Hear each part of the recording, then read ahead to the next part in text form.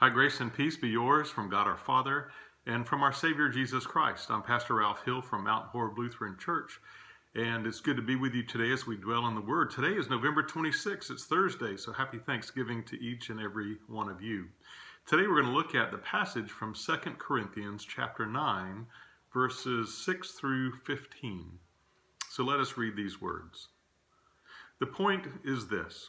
The one who sows sparingly will also reap sparingly, and the one who sows bountifully will also reap bountifully.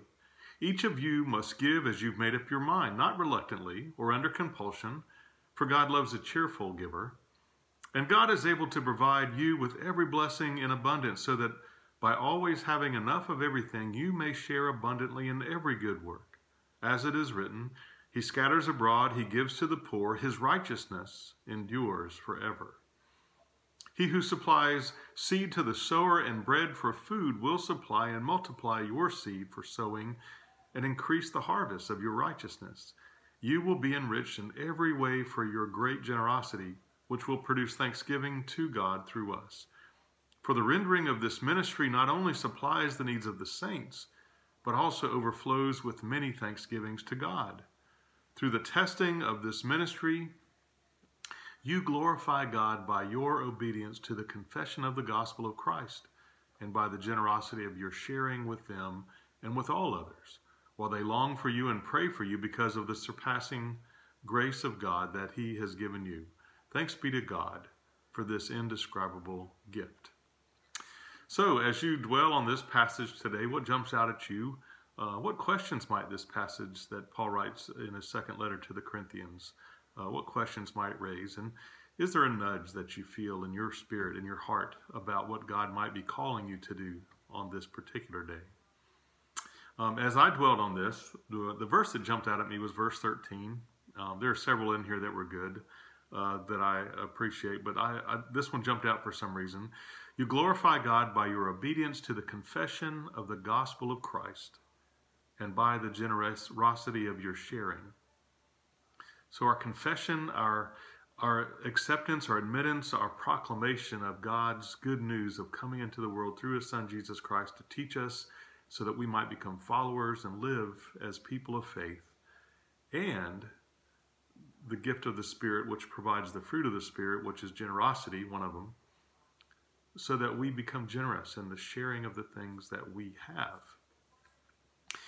You know, each, uh, and that maybe that's a special passage for this time of year because um, it's Thanksgiving.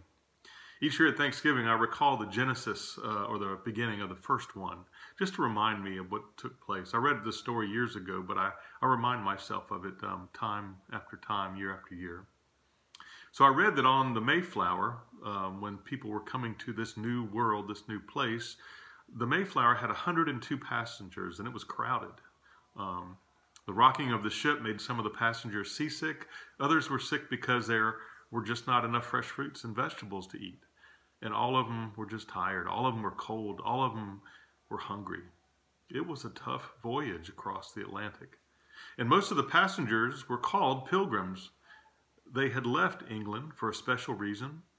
In England, they had not been allowed to have their own church, and now they were going to settle in America where they would be able to go to their own church, to pray their own way, and live life anew in this new world. But for eight weeks they sailed and they dreamed of this new land. And then one day they hear the joyful cry, Land ho, land ho! And the day was bitter cold. But the hearts of the pilgrims after such an arduous trip were warm with happiness. They kneel on the wooden decks of the Mayflower, they bow their heads, and they give thanks to God for bringing them safely to this new land. Um, however, there were bad times ahead in that year of 1620.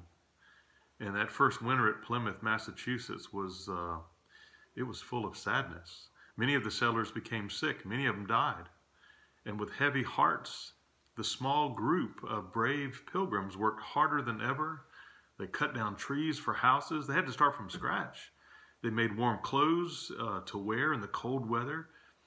And by this time, they had some good friends. They had, they'd made friends with some of the Native Americans that were nearby, especially the chief, Massasoit, and his tribe. And the long, hard winter finally passed into spring. And then the Native Americans shared with the pilgrims how to plant corn. And they placed a small fish in the corn seed to make the soil richer. I can still remember learning this in, in elementary school. Um, but that spring, the men, women, children worked hard in the fields. And, and that year, the corn, thanks to their friends, grew high and it grew well. And there was plenty of barley and wheat and peas. And the governor of Plymouth, William Bradford, called the pilgrims together and he makes a brief speech and he says, You know what? We've got that was a tough start, but that we've got so much now to be thankful for. Let's let's set aside a special day to thank God for this good harvest this year. And so the day was set and, and the Native Americans were invited. And so from the forest, deer and turkey were hunted, from the streams, from the sea, fish and eels and clams and whatever were caught. Uh, pies were cooked and bread was made, um, and the special day arrives. The Native Americans, one of the stories says, came with a present of five deer, and there was so much company, so many people, so much food. And Chief Massasoit and the 90 Indians sat down to the first Thanksgiving dinner in America. The pilgrims said prayers of thanksgiving. They thanked God for a good harvest. They thanked God for their now comfortable homes and warm clothes. They thanked God for their new friends who taught them the ways of a new land and how to share so that others could prosper. And they thank God for the new country they now called home. And so today, as we gather around tables or around Zoom, maybe to check in with your family if you can't be with them, make take time to remember not only this story, but to remember your story. Because knowing that your story is part of God's story helps you realize the significance of your life and your story and what you have. The gift of community and the gift of generosity and the gift of sharing are all key to Thanksgiving. So may we continue to be those kinds of people that live in community, that are people that reflect generosity in our living and share with one another the good things that help life make better.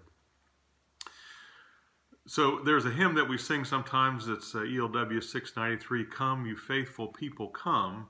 And um, I just thought I would sing a stanza of it just as a reminder of this one, um, of this passage, but also of Thanksgiving. So let's see how it goes.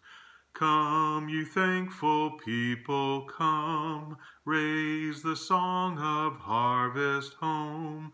All be safely gathered in, ere the winter storms begin.